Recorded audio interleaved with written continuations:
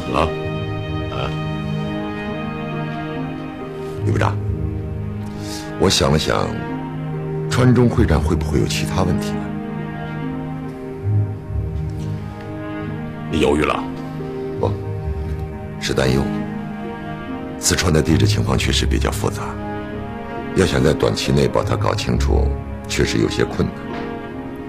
在这样的情况下，仓促上马，会不会冒失？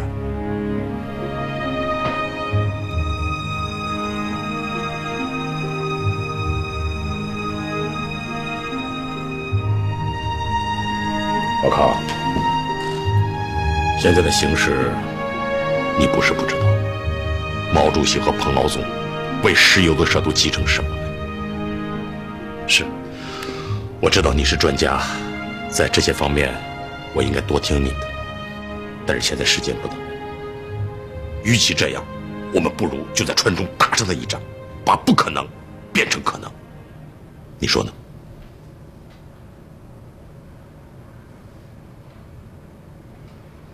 你下决心了？我下决心了。好，我去准备。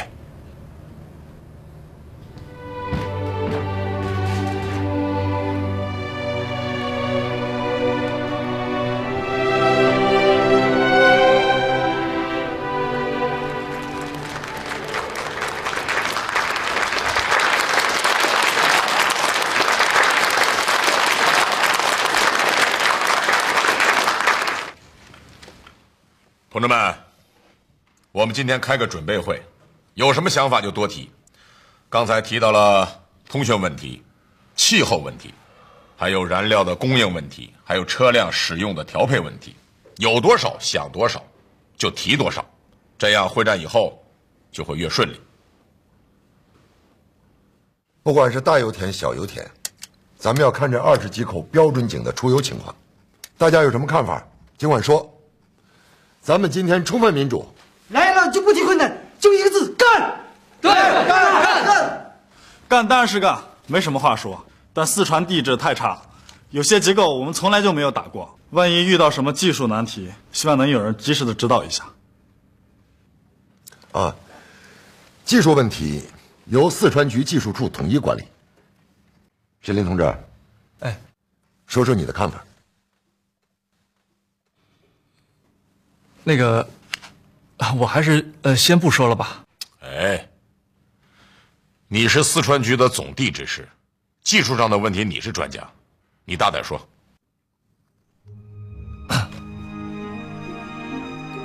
部长，我认为川中地区的地质结构很有可能是裂缝结构，地质情况非常复杂，地下的情况不明，没法做出一个非常合理的技术指标。还有规范，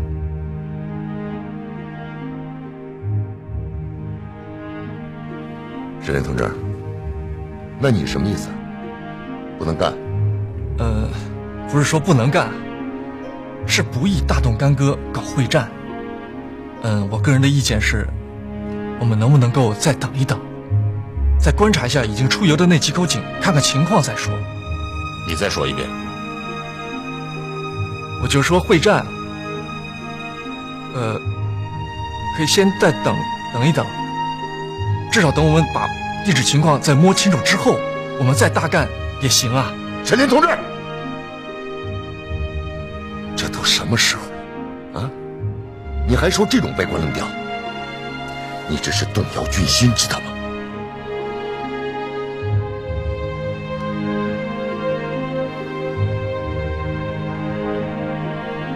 那你说？要等到什么时候？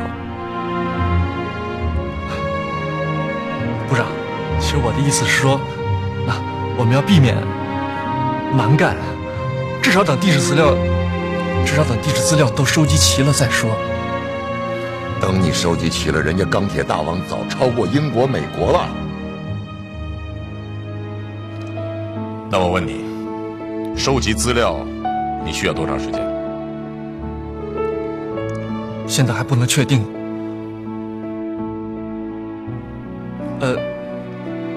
也有可能需要一两年。用一两年的时间搜集资料。我看四川都出油了，这是最好的资料。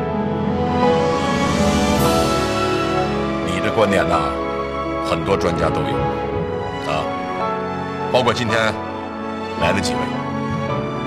但是同志们，我想提醒你，现在我们的国家建设在等着我们，我们的国防建设更是分秒必争。毛主席说：“一万年太久，只争朝夕。”石林呐，我看你这个总地指师没有站在国家建设的高度上讲话。同志们，会战的战场已经摆开，我们现在只能勇往直前，决心绝不动摇。勇往直前，绝不动摇，绝不动摇。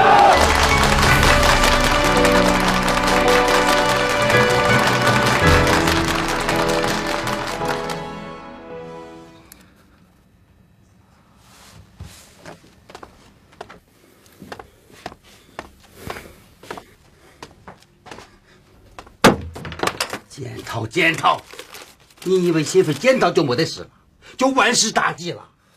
你闯祸了，你闯大祸了，你晓不晓得？现在不光是你一个人的问题，整个四川局都陪绑戴高帽了。可可是我说的是技术方面的问题。书生，打仗你不让打，是技术问题啊！蒋介石在前面跑，马上要追到了。你命令停下来，要换上新鞋子，这是技术问题啊，这是政治问题。我我当时不是担心吗？您别发这么大的火了，我一定深刻的检讨。检讨？你不是检讨的问题了，连我都不是检讨的问题了。你想的也太简单了。我跟你说哈，你不能走，等会儿走，我找你算账。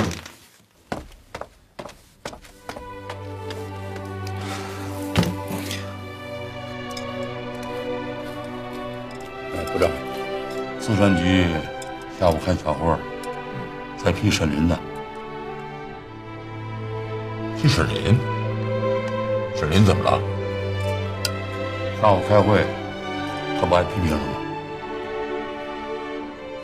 搞什么嘛？啊，不是在会上说好了要搞民主吗？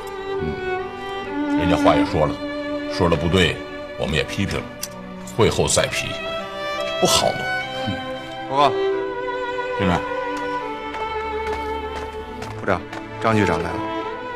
哦，部长们在吃饭是吧？那我等一会儿再过来。哎，没事没事没事，这吃饭又不耽误说事儿。来，坐下说。于部长，我是代表我们四川局来找部领导做检讨的。好端端的怎么了？好端端的检查什么呀？部长。今天白天的会上，沈林同志的发言很不慎重，很不妥当，给我们会战抹了黑。但我可以向部长保证，他的发言不代表我们四川局的态度。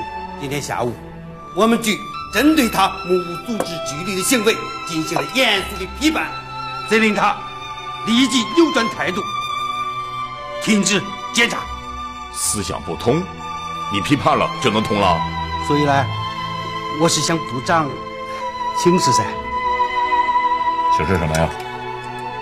会战继续，统一思想。沈林身为敌之师，言论落后，动摇军心，性质十分严重。我们建议在八百起运动中抓他这个反面的典型，揭批沈林破坏大跃进的行为，来教育广大的群众。还有呢？还有，嗯，要不我们搞一次全体性的批斗？还有呢？还有，还有，要不开除他？扯淡！你开除谁呀？拔什么白旗啊？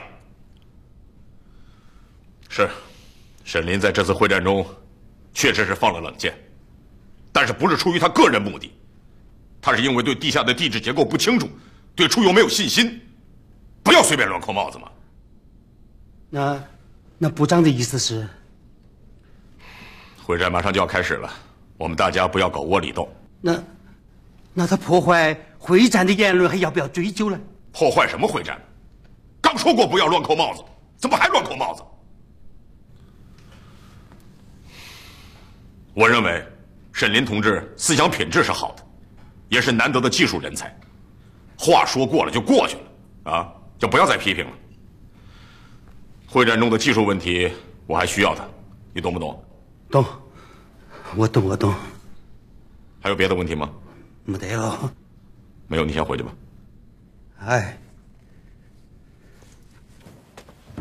哎呦，哎呦，我天哪！不长来了呗。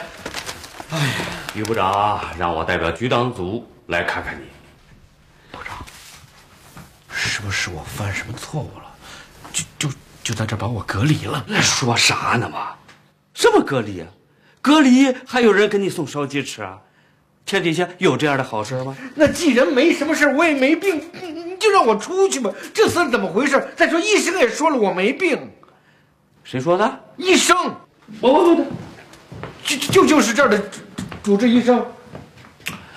来来来，坐下。我我非做出病来不可。部长，刘部长，你有什么指示？哎，医生。啊，对，你问，你问。我问你啊，谁说陆总现在没问题，可以出院了？啊？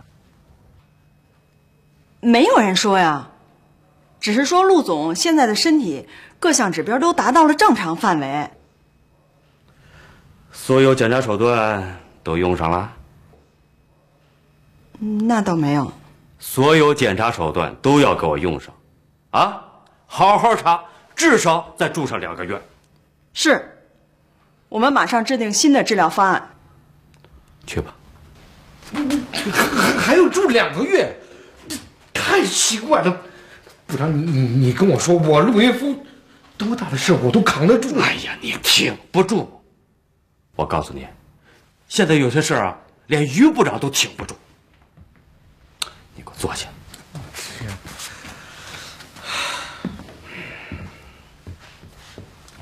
老陆啊。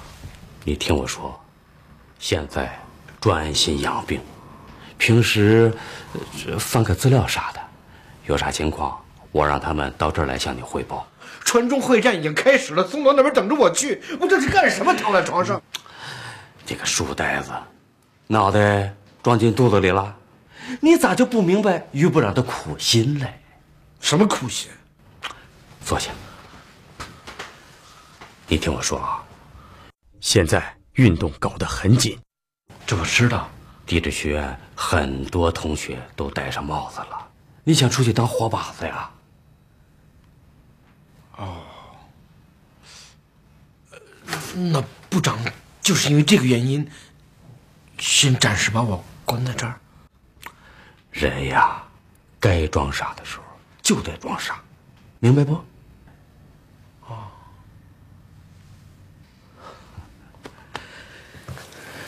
好，现在啊，吃饭，啊，吃鸡，吃鸡，吃。哎呀，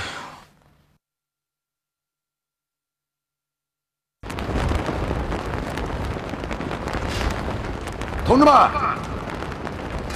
在战场上，我们手里握的是枪杆子。在钻井钻台上我们手里握的是撒把子，只要我们发扬解放军不怕牺牲、艰苦奋斗的传统，就没有战胜不了的困难，就没有渡不过的难关。大战川中，坚决拿下二十口关键井，有没有信心？有，有。我宣布，川中石油会战开始。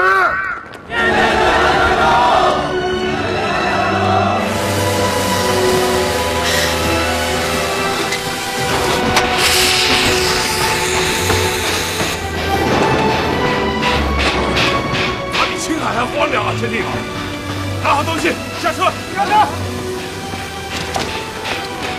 慢点，慢点，赶紧下车。后面的快点。有人集合了，赶紧下车了啊！备好军力，备好装备，准备集合了，准备集合，立正。谁是五山堡队长？我。我是。你好，我是杨军旗，在这儿接你们的。局长，哎呀，不好意思啊，你这么忙还亲自来接俺。哎呀，好啊，果然是大名鼎鼎的五沙靶子啊，名不虚传呐！这么快的时间就把队伍从青海调到东北来了。哎，部长钦点的尖刀队伍嘛，俺对指导员大年说了，幺五二八啥时候都不含糊。嗯，好。大年，来来来，这是松辽局的杨局长。局长，这是俺队指导员王大年。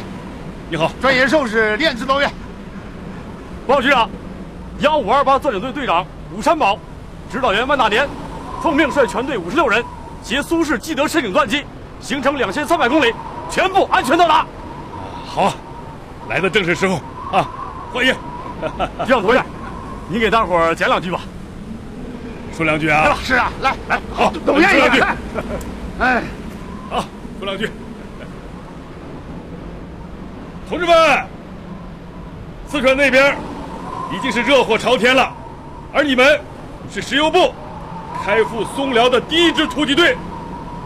这儿的条件很艰苦，头上是青天一顶，脚下是荒原一片。能不能在这个地方发现油田，那就要看我们有没有这个能耐了。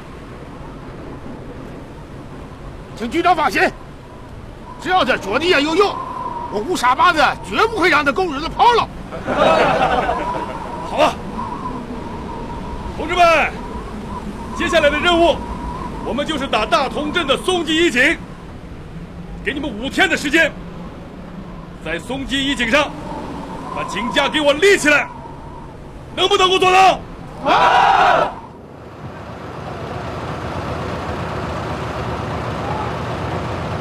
大年，准备好了没有？好嘞。兄弟，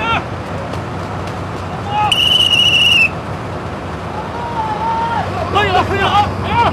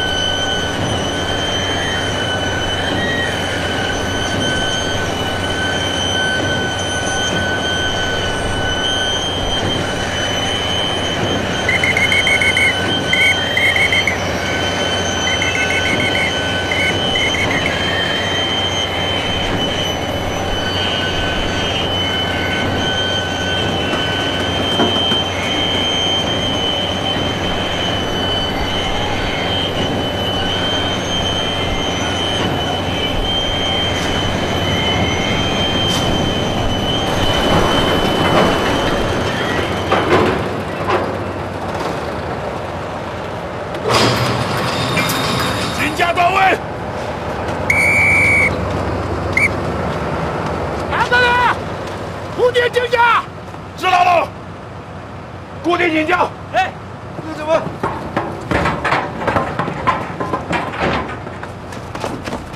老五啊，一定要注意安全啊！放心吧，杨局长，超巴适了。放心。好。各位，哪个人？把它抢好了啊！把螺丝拧紧。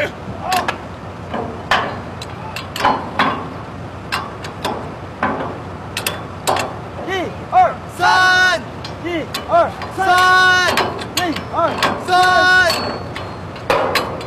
固定完毕。队长固定完毕。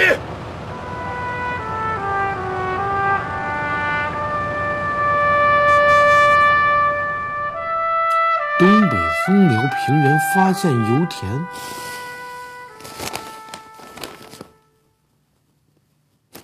谁发的稿子？我这个总地质师在这儿，谁发现的油田？陆总啊，看报呢。啊，来吧，咱们量量血压，八十一百一。这么正常的血压还天天量？哎，那我出去去见于部长可以吧？什么事儿啊？我向于部长汇报事儿，需要跟你请示吗？对不起，但是我必须得跟您去。等您见完了于部长，我再把您给接回来。可以，可以，可以，可以。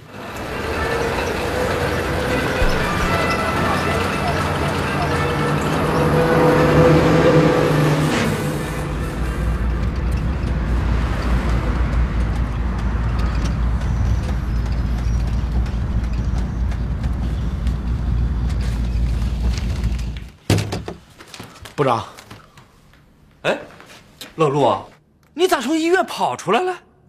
部长，你看看这都上头版头条了，我还在病床上躺着，我躺得住吗？我，于部长，躺不住也得躺，这是对你的政治生命负责。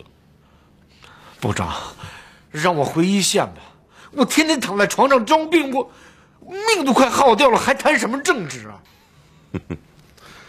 有进步啊！陆总住了几天院，政治觉悟提高了。但是我还是要批评你，我批评你不知深浅。既然组织上决定让你住院，你就应该好好的在医院里待着。松辽那边有杨云奇给你顶着吗？部长，说心里话，你你一直在保护我，这我心里都清楚。可是我是我是咱们石油部的总地质师，松辽那边勘探任务这么紧，我躺在床上装病。现在还在搞运动。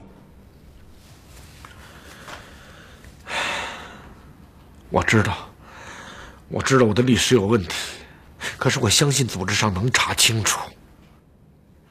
这样好不好？把我派到一线，我用我的工作态度来证明我对国家是忠诚的。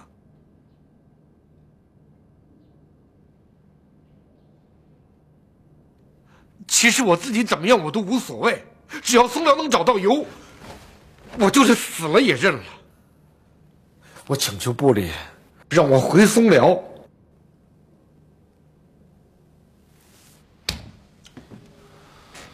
好吧，我答应你的请求。那我回松辽。哎，但是我对你有约法三章：第一，要少说话；第二，不要接触人；第三，不要跟任何人说你已经出院了。能做到吗？我保证，我保证。于部长，陆总是不是不回医院了？啊，不回了。但是你给我记住了，他在医院的那张病床不要给我退，出院手续也不能办，病历天天照写。是，听明白了。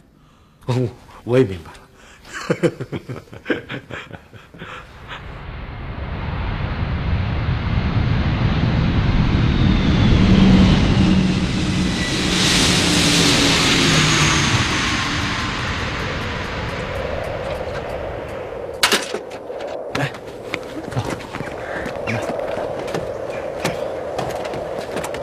于部长，啊，欢迎到玉门来指导工作。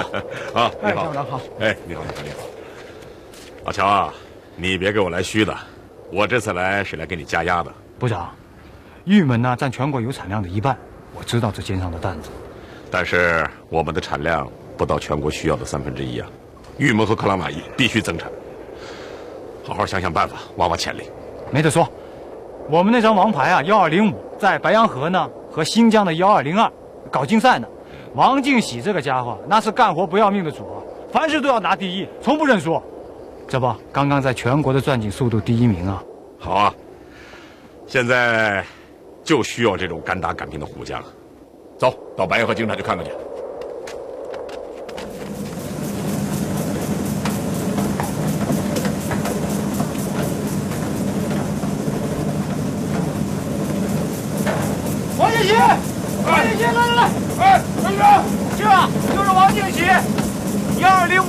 钻井队的队长，这是于部长。部长，你好，你好，王进喜，你好，你好，部长。进喜进喜，你这名字起得好，以后啊要多给我们石油部进点喜啊！哎，报告部长，这个月的我们月进尺啊是四千，下个月就五千，没问题。咱是谁呀？幺二零五吧。好好好好好，这个月的月进尺能不能再突破一下？报告部长，只要国家需要，我们是把地球给钻透了。好，有这个决心就好啊。哎，队上的技术力量怎么样？啊，呃。小罗，小罗，哎，来，小罗，这是于部长。你好啊，小同志。你好，你好，于于部长好。部长好。部长要问，咱们队上技术力量如何？你说说啊。啊，报告部长，技术力量很强大，就我一个人。你怎么啰了吧嗦的？实话实说，就我一个人嘛。你看你这来队上多长时间了？报告部长，一个月还零三天。你看你这不咋回事吧？你部长，这个他是咱们队上技术员，卢进学，咱们石油学院毕业的大学生，理论水平没得说，就平时说话他啰了吧嗦的。好啊，大学毕业能到警队一线来工作，这个精神值得表扬。部长表扬你了，我听出来了。可以的。啊。报告部长，我们大学生是祖国培养的，人民哺育的，工人阶级锻造的。我一定把我剩下的所有光和热，毫无保留地洒在祖国的大地上。小卢啊，来警队工作要踏踏实实的啊！你刚才跟我说话说的好好的，怎么这一会儿说点漂亮的八股文了？别听你们队长的啊！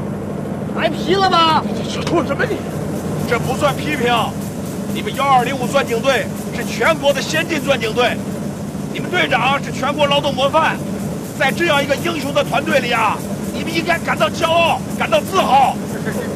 谢谢部长。我知道你们大家都很辛苦，也知道你们贡献都很大，但是我们国家的石油工业啊非常落后，我们要想在世界上立足脚，关键就看你们的了。部长，部长。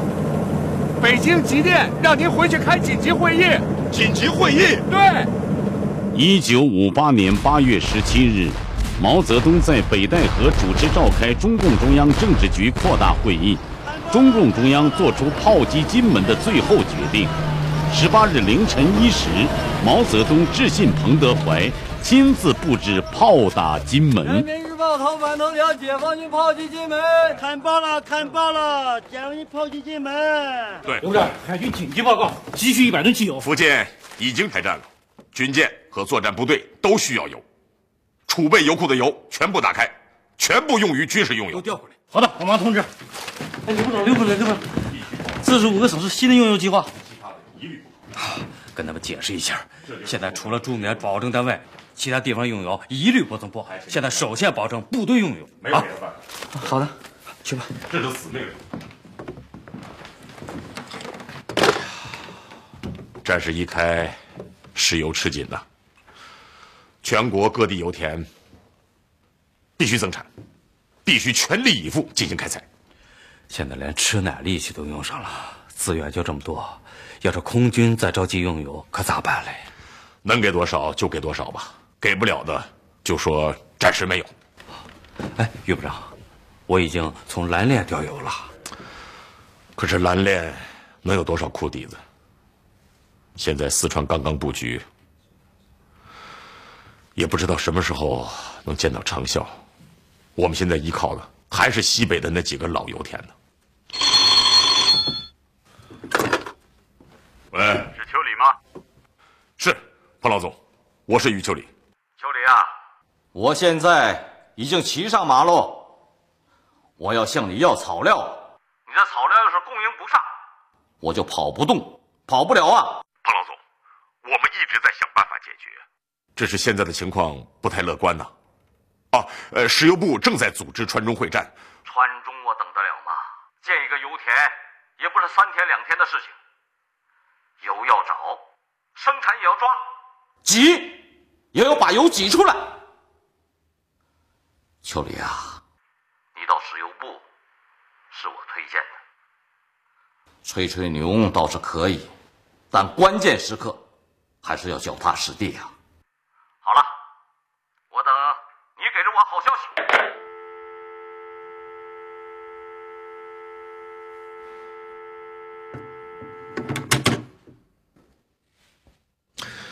老刘，你去通知康部长，跟我一起去克拉玛依开会。现在最要紧的就是古今。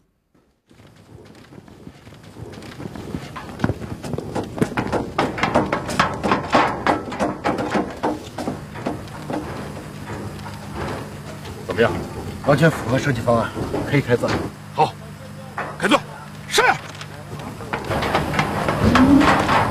从军已经开钻，开钻。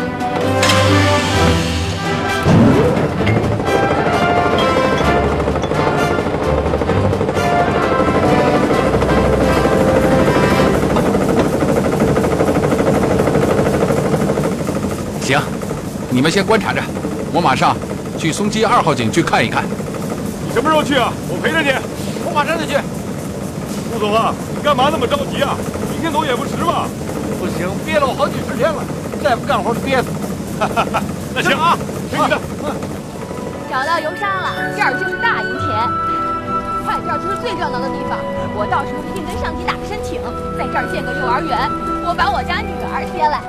哎，到时候我天天上下班，我都能看见她。那小杨沙该多高兴啊！等我们老的时候啊，这就是个大油田，井架林立，到时石油咕咚咕咚咕咚都爆出来了，我们就跟我们的子孙们说：看到这儿是我们发现的。哎呀，你说那都太远了，雅欣姐，我们跟韩队长说一下，等他们打井的时候，我们来义务当搬运工，行不行啊？你当搬运工？就你那小声可，哎呀，搬运工搬一搬你吧。我搬不动，我可以唱歌啊。哎，我没有，别动。雅欣姐，怎么了？我陷进沼泽地了，趴下，你们俩趴下，快趴下。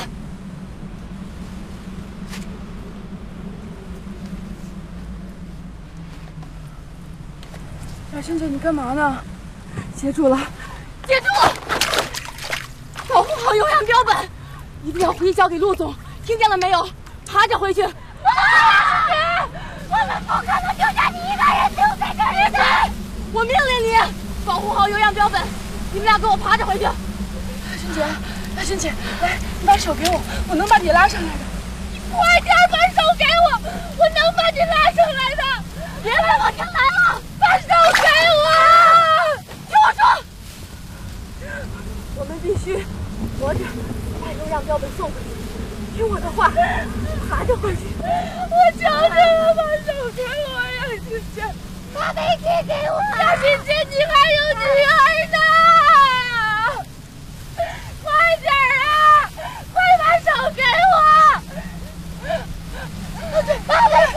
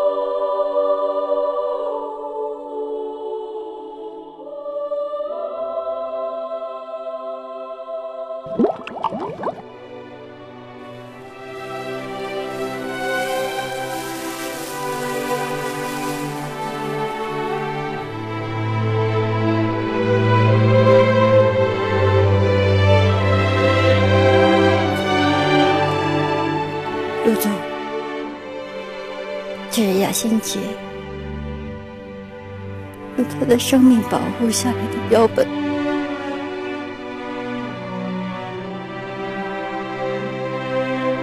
在牺牲的时候，让我亲手交给你。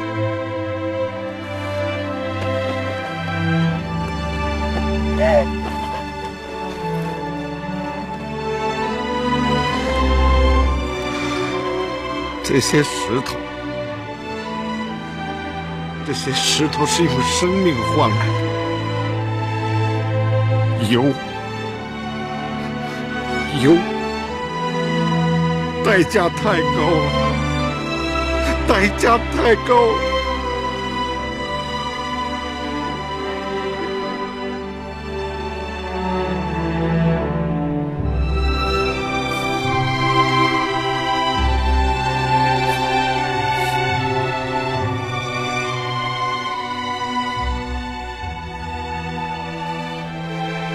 好的同志，为了找油，这么年轻就牺牲了，可惜了。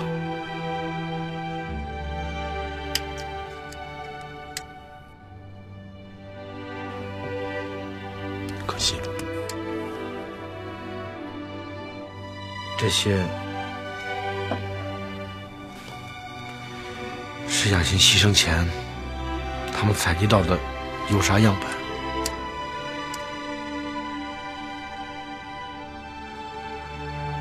他的孩子呢？在我们家，我负责帮他把孩子拉扯大。那他的孩子就靠你了。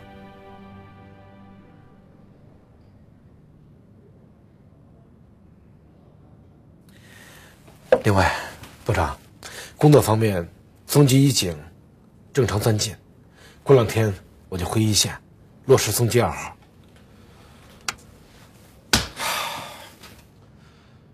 现在形势很严峻呐，我们只好兵分几路了。康世恩和安江在四川，我和老刘马上去老油田开增产会。松辽这面，你就多费心了。部长，你放心吧。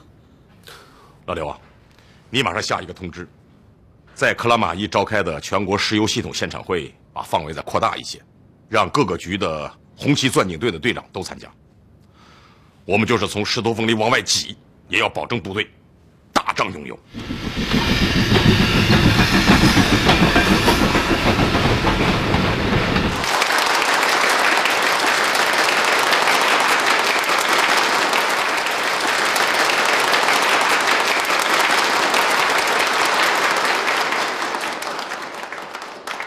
同志们，今天这次大会开得非常好。刚才几位代表的发言很振奋人心呐。这次全国石油系统的代表大会在克拉玛依召开，我们的代表不是来休息观光的。国家要有，靠的就是我们西北这些老石油基地。我们现在只有一条路好走，那就是多出油，多产油。同志们都清楚了吗？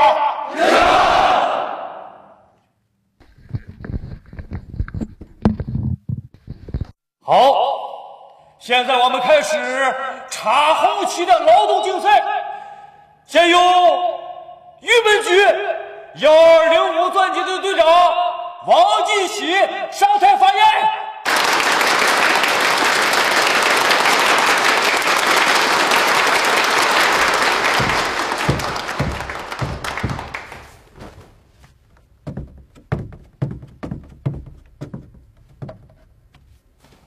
我先给大家报个喜，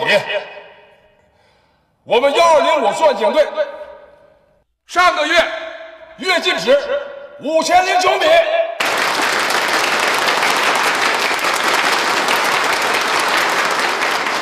打破了苏联保持的月进值四千七百米的记录。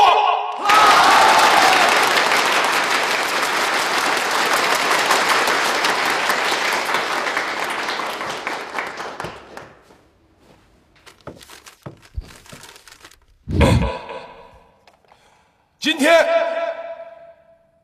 今天的现场会开得让人振奋，让我心跳。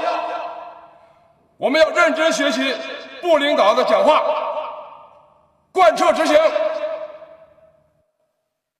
呃，这这下一回哪儿去了？这是。